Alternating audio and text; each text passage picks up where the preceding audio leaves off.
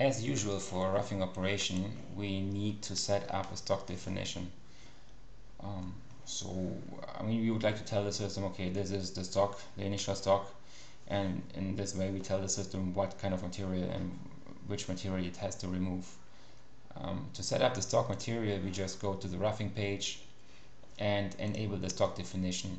Here, we hit the button and then we can make a, a stock type definition and um, I don't want to use the bounding box in this case. I mean, I could use the bounding box because the part is uh, basically a box, right?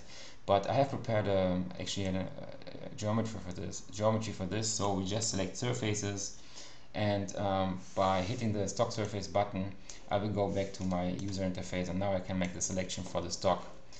Um, the stock is on a different layer, so I will just hide this layer here, and I get get my uh, stock definition layer so this my stock stock is the simple cube. Oops.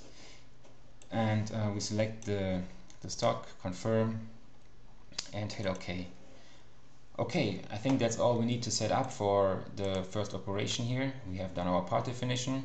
We uh, selected uh, some parameters. We set up some parameters. Um, we set up the linking and we have done the stock definition. Let's confirm and see what the first toolpath looks like